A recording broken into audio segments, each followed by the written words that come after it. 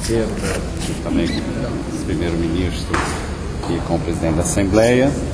E estamos aqui essencialmente para apoiar o roteiro CPLP-CDAO, uh, que estabelece uh, um mapa do caminho para seguirmos adiante, sobretudo na área de uh, segurança em Guiné-Bissau, que é essencial.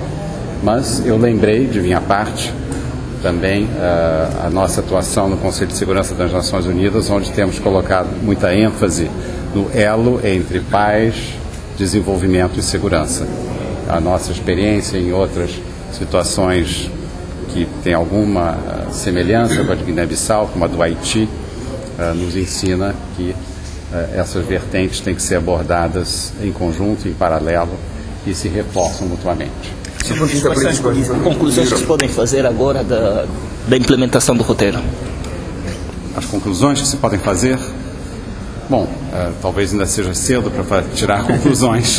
Nós estamos aqui, sobretudo, nos associando em um esforço de apoio a, a esse mapa do caminho, esse roteiro, e uh, reafirmando o nosso compromisso com a paz, a estabilidade, o progresso institucional, o desenvolvimento da nação irmã de Guiné-Bissau, que é um membro muito importante do nosso agrupamento da CPLP.